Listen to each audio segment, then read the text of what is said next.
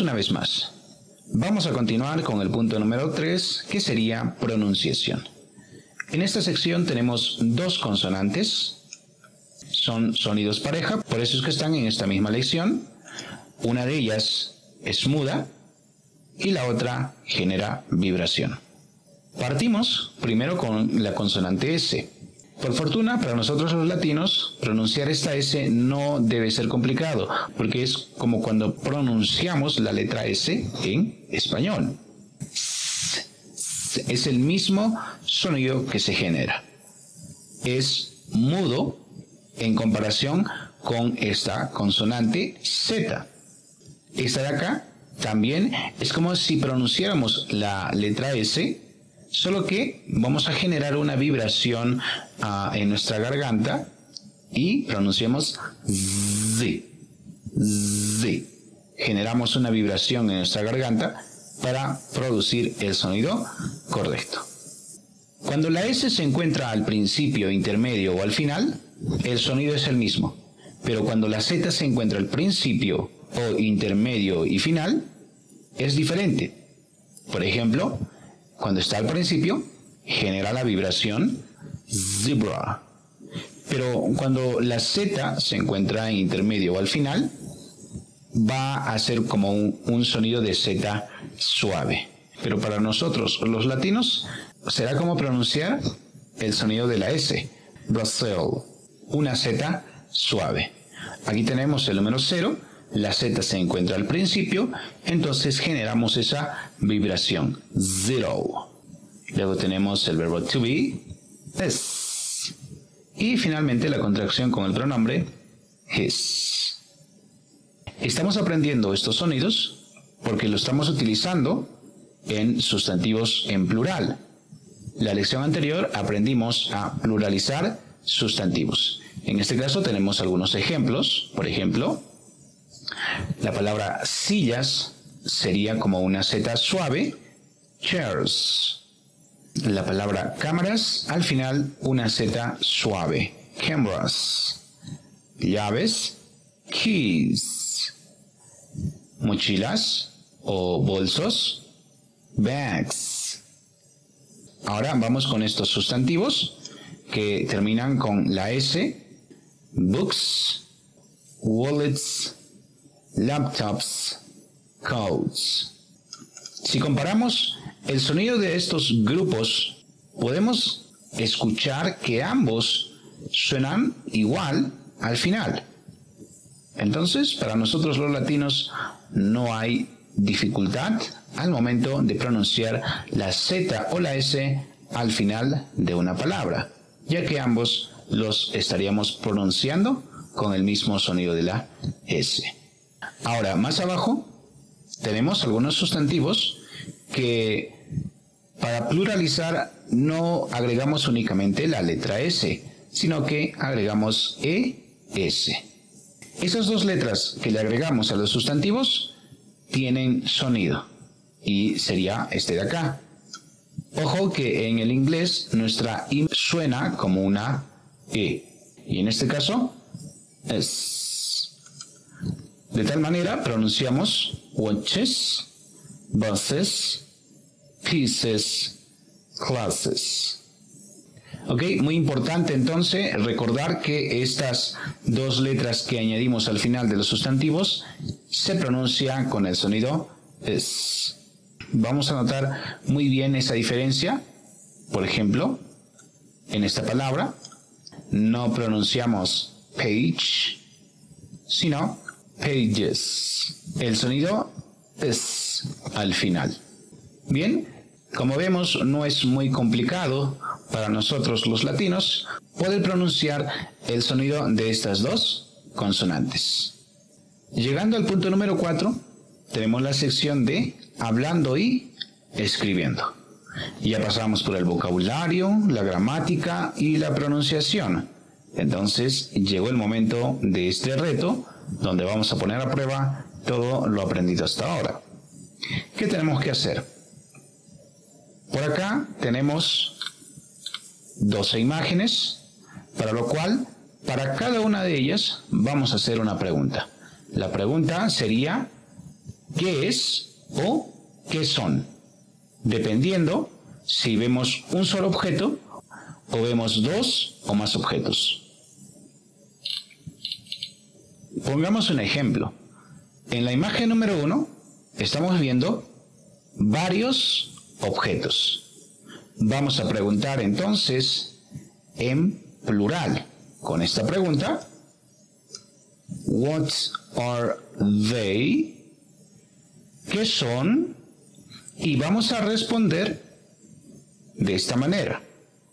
Their books. El sustantivo en plural. Their books. Vamos con la número 2. Estamos viendo un solo objeto. Y cuando vemos un solo objeto, recordemos que utilizamos esta forma de preguntar. What is it? Y al momento de responder, podemos decir it's a o it's an. El uso de estos artículos va a depender de cómo comienza la siguiente palabra. ¿Será consonante?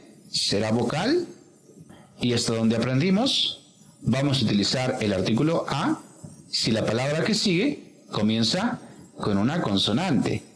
Y el artículo an si la palabra que sigue comienza con una vocal. En este caso es una billetera y billetera en inglés decimos wallet, comienza con una W y por lo tanto eso sería una consonante, para lo cual usamos el artículo a. What is it? It's a wallet.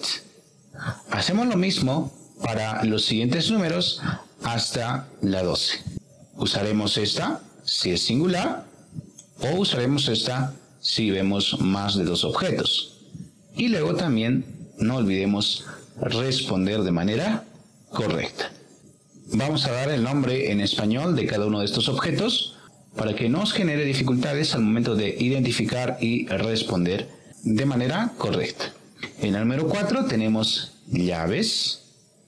Por acá tenemos una tarjeta de crédito. Aquí una sombrilla, paraguas. El número 7 es un celular.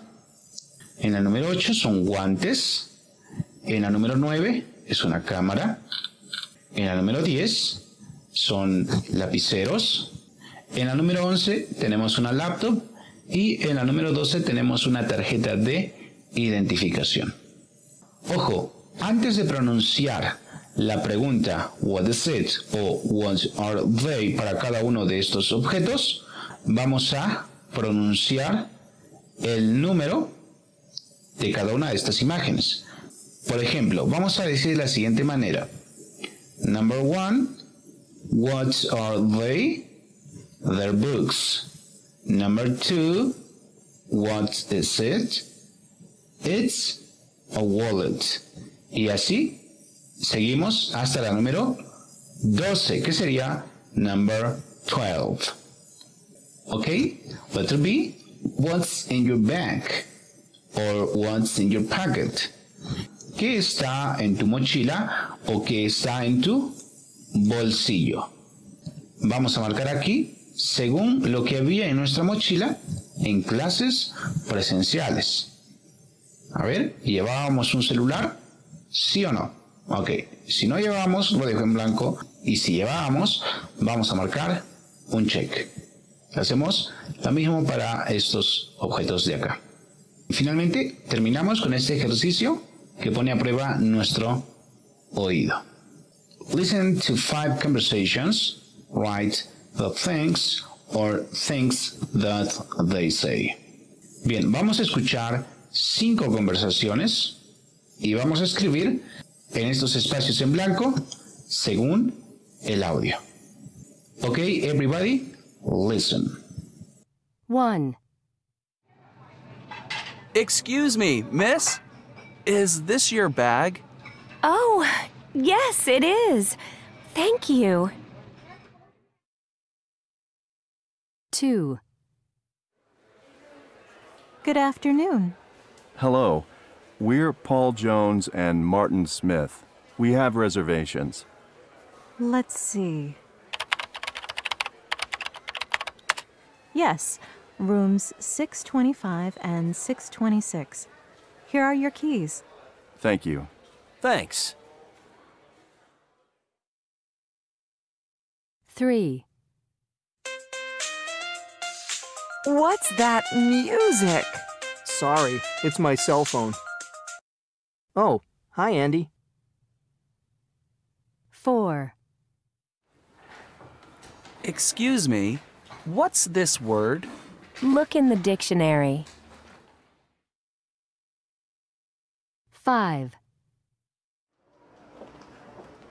How much is it? $20. Is a credit card okay? Yes, of course. Ahora vamos a completar según el audio que escuchamos. Excuse me, miss. Is this your bag? ¿Es este su bolso? Vamos con el segundo diálogo. Eh, aparentemente están en un hotel y le entrega sus llaves. Here are your keys. ¿No? Aquí están sus llaves. Thank you. Termina. Vamos con el diálogo número 3. suena una música, ¿no? Y le pregunta qué es esa música. Y responde, sorry, it's my cell phone. Es el tono de su celular.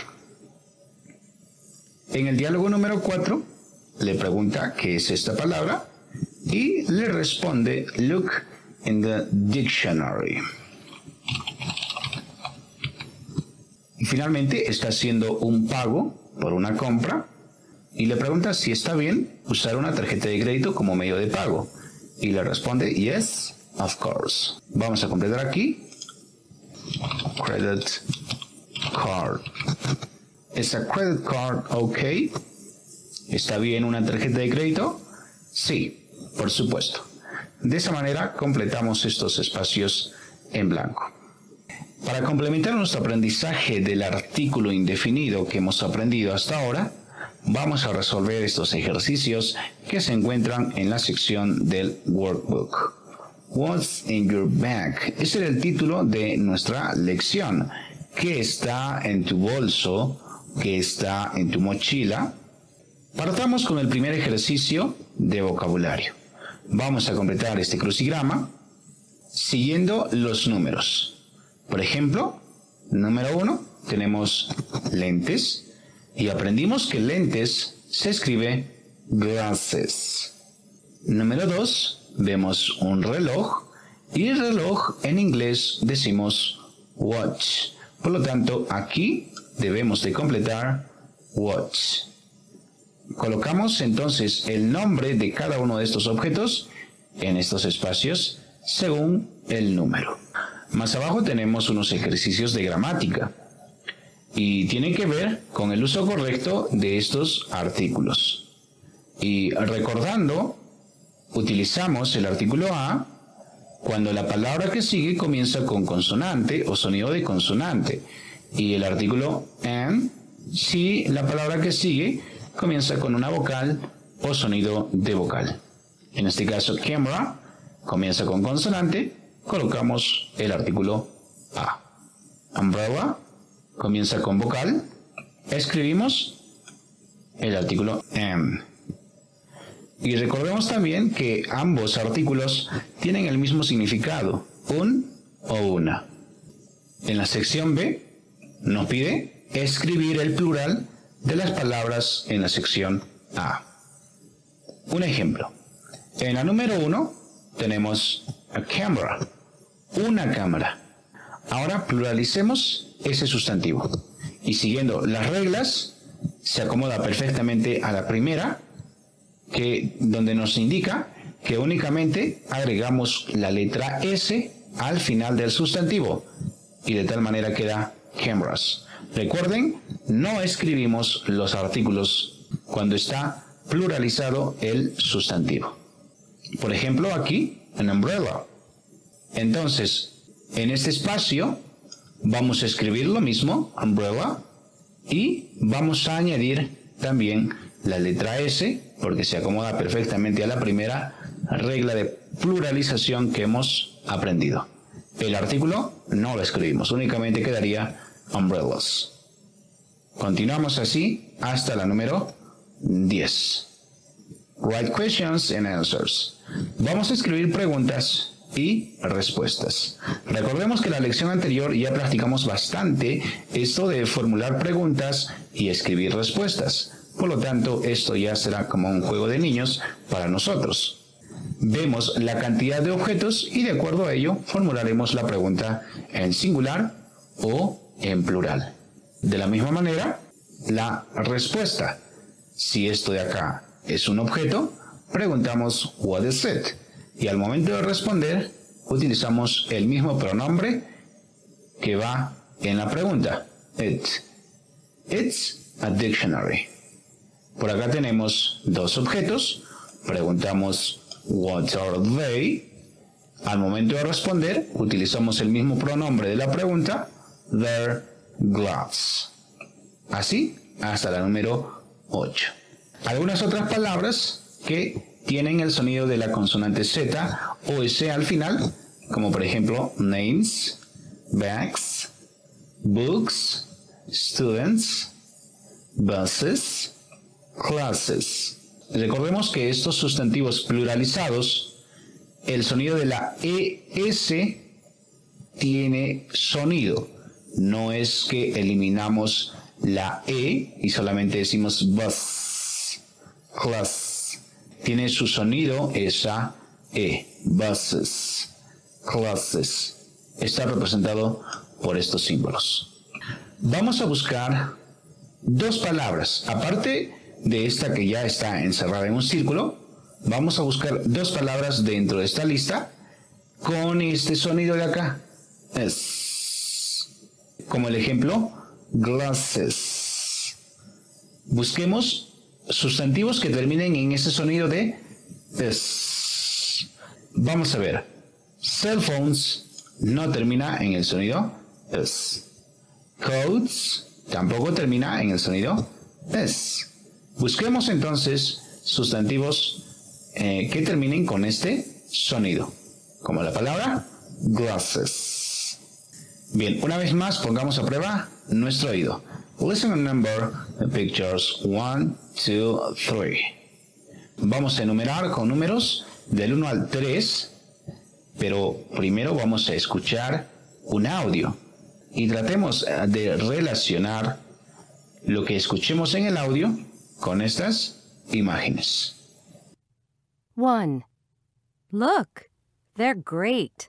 Yes, they are. But, uh, what are they? They're gloves.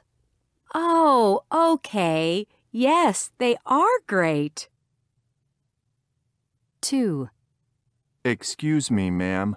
What's in your bag? Excuse me? My bag? Yes. Open your bag, please. Okay. A laptop, a phone, a wallet, and pens. Thank you. 3. Hi, Robert. Happy birthday. Is it for me?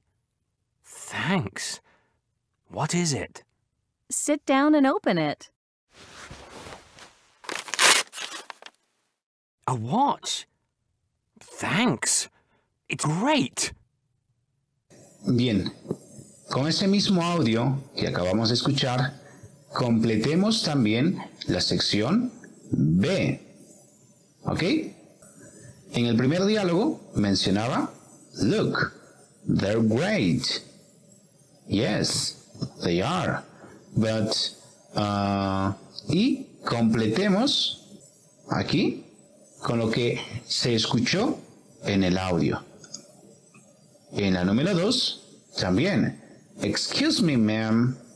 Completemos lo que se mencionó en el audio para el punto número 2. Bien, vamos a recalcar esta palabra ma'am. Significa señora, ¿ok? O madame. En el punto número 3 tenemos Is it for me? Thanks. Y también vamos a completar lo que hemos escuchado en el audio. En el punto final, a tener en cuenta estas palabras y frases. Para poder pronunciarlas correctamente, debemos guiarnos de los símbolos que están al costado de cada palabra o frase, como por ejemplo, what is it? Luego tenemos la pregunta, what are they? Ojo, al momento de pronunciar este pronombre they, lo hacemos con este símbolo, ¿ok? Y este símbolo es un sonido hermano o pareja de este otro símbolo. Este sonido es mudo y este sonido tiene vibración. Cuando pronunciamos este pronombre con el sonido D del español, posiblemente un nativo inglés no nos entienda. Debemos de pronunciar con este sonido. Es como si rodeáramos la lengua con los dientes de arriba y de abajo y dejamos fluir el aire, pero generando una vibración. The they. Y el sonido de acá abajo, también la misma posición, solo que es un sonido mudo, no genera vibración. Siguiente palabra sería el verbo tener, have, live, que sería salir, miss, señorita, ma'am, señora, sir, señor, great, genial. Y por último, la frase popular que muchos lo utilizamos cuando alguien cumple años. Happy, no olvidemos ese sonido, birth, tiene que fluir el aire, birthday. Happy birthday.